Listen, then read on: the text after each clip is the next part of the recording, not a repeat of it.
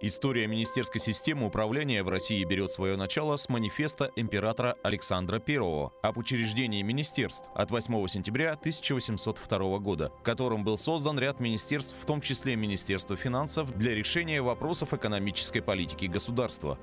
27 апреля 1922 года был образован Народный комитет финансов Якутской АССР. Позже орган переименовали в Министерство – в год столетия республики ведомство празднует и свой столетний юбилей.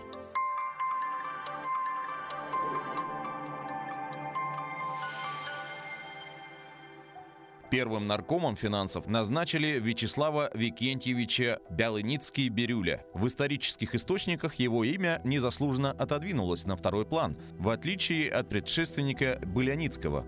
Сам Вячеслав Викентьевич был передовой и творческой личностью – Годы его работы выпали на самое сложное время – после революционный период. После него руководителем ведомства стал Алексей Алексеевич Семенов. Годы его работы выпали на начало 20-х годов – тяжелейшее время для республики. Алексей Семенов родился в 1882 году в селе Тамир Забайкальского края. Родители – многодетные крестьяне, не только приучили его к сельскому труду, но и дали возможность получить образование в четырехклассном городском училище. После учебы смышленого парня заметили и рекомендовали на должность письмоводителя в городской суд. В 18 лет он устраивается конторским служащим в торговый дом Коковин и Басов. В течение нескольких лет он поднимается до должности бухгалтера и получает назначение в якутский филиал фирмы.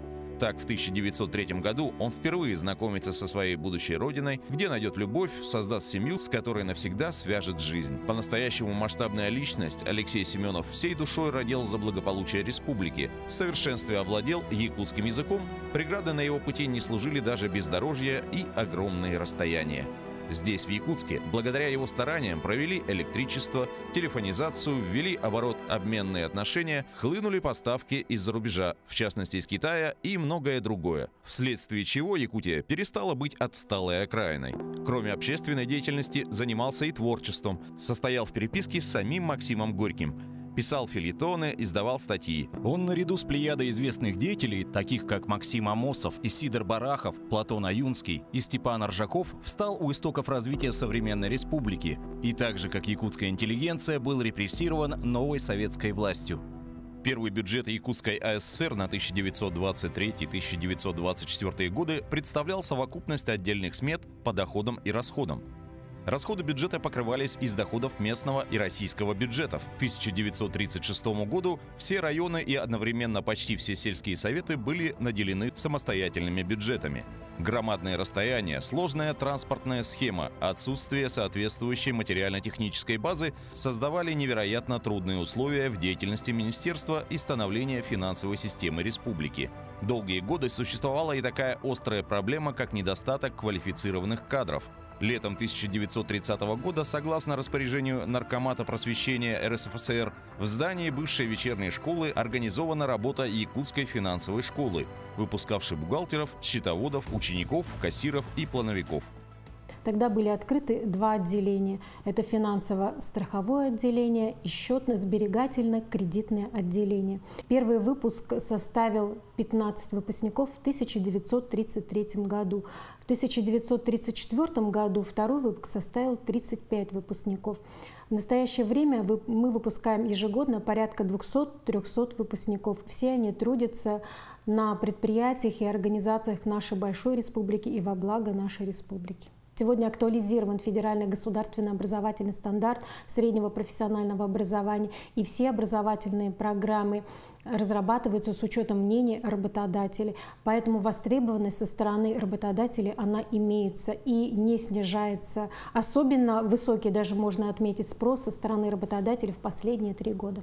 К слову, сегодня финансово-экономический колледж носит имя Ивана Ивановича Фадеева. В 1930 году, после окончания Московского финансово-экономического института, молодой специалист Иван Фадеев был направлен на работу в Якутию, где он прошел путь от начальника сектора финансирования народного хозяйства до заместителя якутского наркома финансов.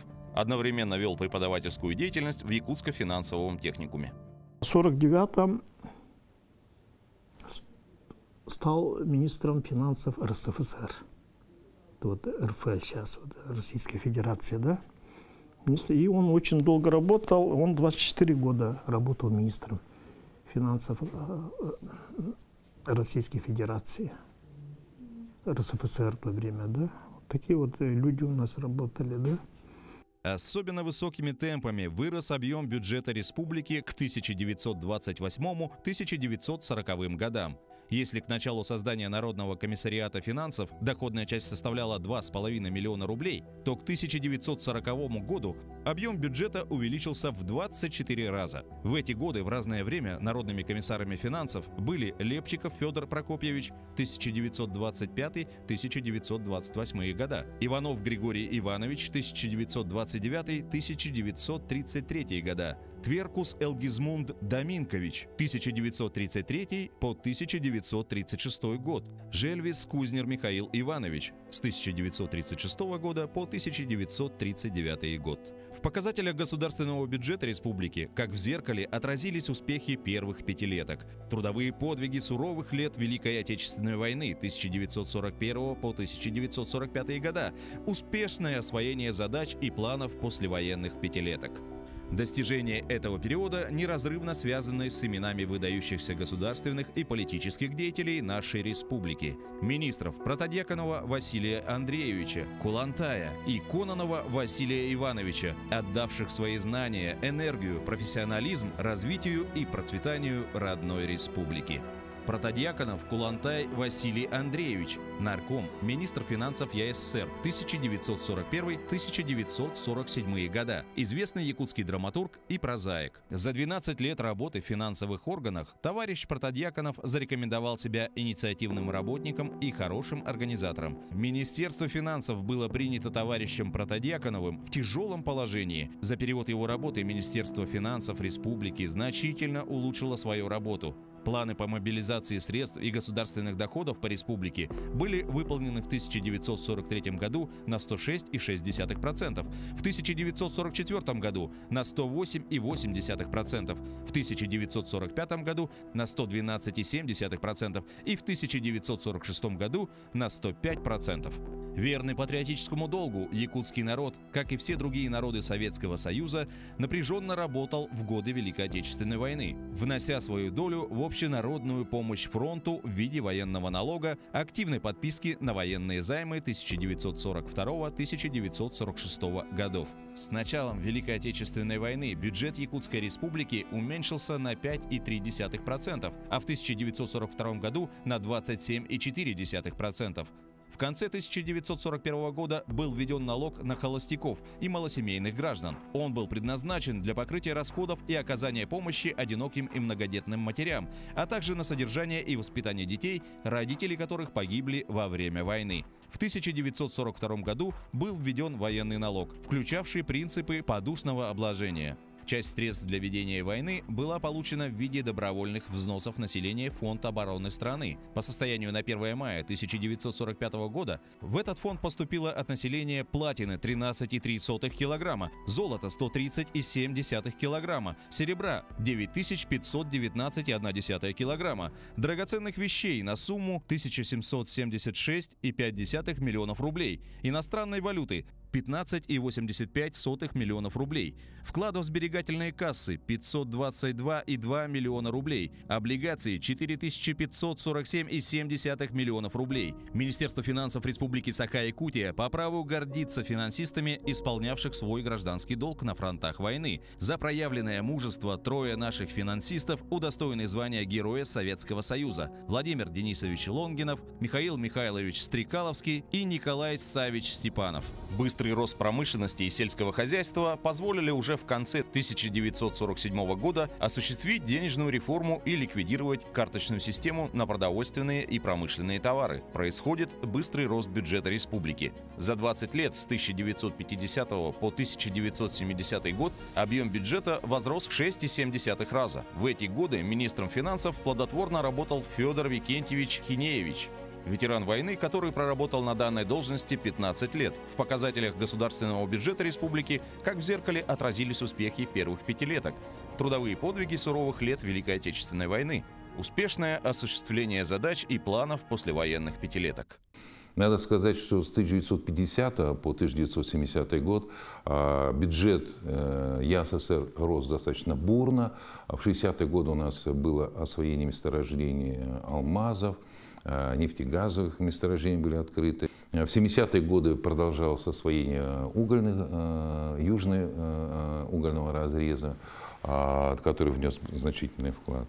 В 1974 году на должность министра финансов республики назначен Иван Николаевич Алексеев, проработавший на данной должности более 14 лет, до 1988 года. За годы работы в финансовой системе Иван Николаевич внес неоценимый вклад в укрепление финансового механизма, усиление его воздействия на ускорение социально-экономического развития республики. За трудовые успехи Алексеев Иван Николаевич награжден орденом знак почета, присвоены почетные звания заслуженные экономист РСФСР и заслуженный работник народного хозяйства ЯССР медалями, почетными грамотами Президиума Верховного Совета РСФСР, Президиума Верховного Совета Республики, Минфина СССР, РСФСР, ЯССР. Замечательный жизненный путь Ивана Алексеева, воина и труженика, является примером активной жизненной позиции и патриотического отношения в исполнении гражданского и патриотического долга.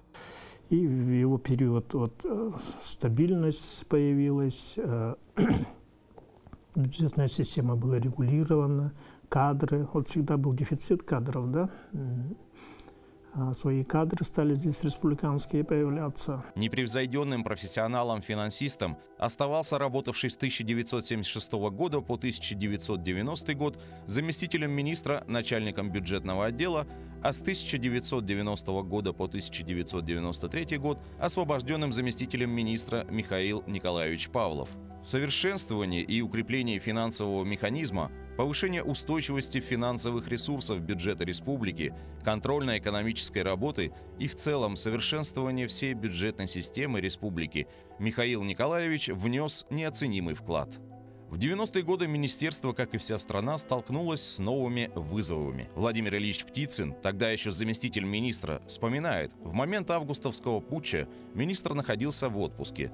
Владимир Птицын, будучи всего полгода в руководстве, оказался в незавидном положении. Позже СССР развалился, а все существующие законы разом потеряли свою силу. Свою политику министерству пришлось выстраивать практически на ощупь, по велению совести – Экономика упала. Самое важное тогда было обеспечить маломальскую стабильность. И лишь в апреле 1993 года удалось принять первый полноценный годовой бюджет. Так, благодаря слаженной работе и железной воле руководства Минфина и республики удалось избежать закрытия социальных объектов, сохранить рабочие места уберечь наслега и деревни от запустения. Тяжело было, это все помнят. Зарплату, значит, э, по полгода не получали бюджетники, но мы этот вопрос э, решали по-своему, выпускали ценные бумаги, векселя, облигации. Вот сегодняшний министр Валерий Алексеевич является отцом, можно сказать, э, облигационных займов. Он, э, как специалист высокого класса в этом плане, как у меня заместителем министра работал, э, сделал очень большое дело. Вот. Потом, значит, мы синдицированный кредит получали. Это что такое? Это, значит, ну, банки, южнокорейские, швейцарские, германские банки, сообща, значит, сделали нам отдельно взятыми регионы России кредит 75 э, миллионов долларов.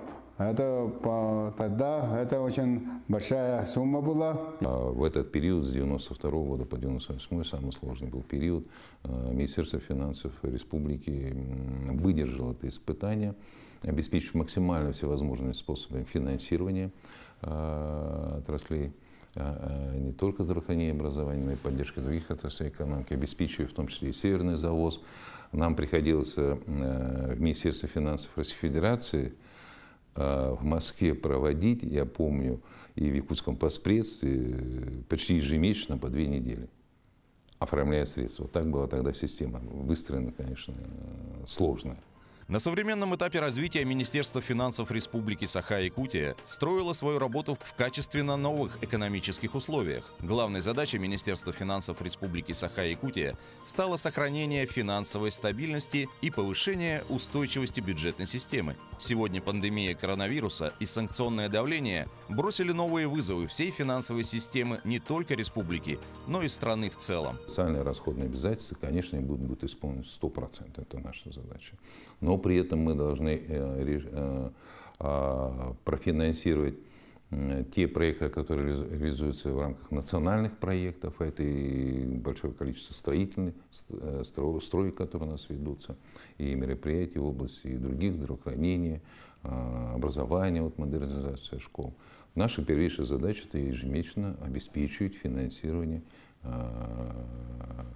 тех мероприятий, которые заложены в наших 27 государственных программах. И на данный момент мы полностью справляемся с этой задачей. У нас нет сбоев. А, доходы поступают в рамках э, государственного э, годового плана, утвержденного в государственном бюджете Республики Саха-Якутия.